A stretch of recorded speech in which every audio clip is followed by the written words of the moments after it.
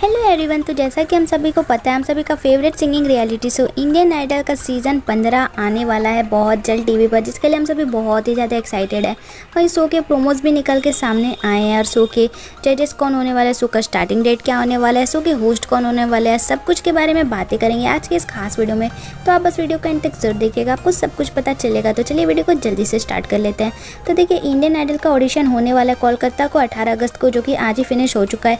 Corti में होगा बीस अगस्त को, दिल्ली में होगा 25 अगस्त को और मुंबई में होगा 31 अगस्त को, यानी कि पूरा का पूरा अगस्त ऑडिशन में ही जाने वाला है। तो ये सब अगस्त में नहीं आ पाएगा। सेप्टेम्बर के एंड वीक में या फिर अक्टूबर के फ़र्स्ट वीक में आप एक्सपेक्ट कर सकते हो कि इंडियन आइडल हम सभी को टीवी पर देखने को मिलेगा।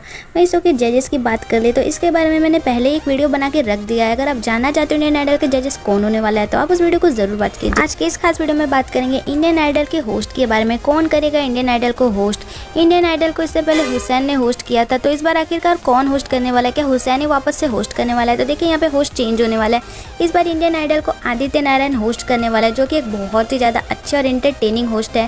साथ ही साथ इनकी होस्टिंग लोगों को बहुत ही ज़्यादा पसंद है। तो जी हाँ आदित्य नारायण वापस आ चुके इंडियन आइडल में और आदित्य नारायण करने वाला है सीज़न पंद्रह को होस्ट तो कैसा लगा आपको ये अपडेट कमेंट्स में ज़रूर बताएगा साथ ही साथ अगर आपको ये वीडियो अच्छा लगा तो ज़रूर लाइक करें। इसी तक इंटरेस्टिंग वीडियो से जुड़े रहने के लिए हमारे भी चैनल को ज़रूर सब्सक्राइब करें। साथ ही साथ बेलाइकिन को भी प्रेस करें, क्योंकि मैं जब इस तरह के और भी वीडियोस लेकर आऊँ सबसे पहले नोटिफिकेशन आपके फ़ोन में जाए। Thanks for watching